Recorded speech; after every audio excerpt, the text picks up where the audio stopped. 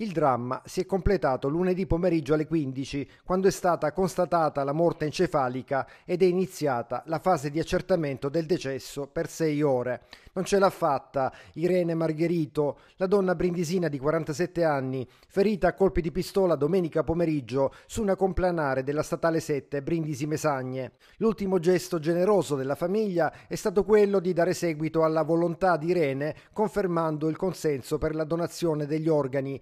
Si aggrava così la posizione del cognato della vittima, Adamo Sardella, di 55 anni, fratello del marito defunto della 47enne, arrestato nell'immediatezza per tentato omicidio e rinchiuso nel carcere di Brindisi. Ora per lui l'accusa diventa di omicidio volontario aggravato, oltre che della detenzione della pistola semiautomatica calibro 765 con la quale ha compiuto il delitto. La vittima era giunta all'appuntamento nell'auto guidata dal compagno, una Nissan Juke, mentre Sardella, con un altro parente, era a bordo di una Golf. I motivi dei dissidi familiari che hanno portato a un epilogo così cruento non sono stati ancora chiariti. Dopo il prelievo degli organi, la salma sarà a disposizione dell'autorità giudiziaria per l'esame autoptico.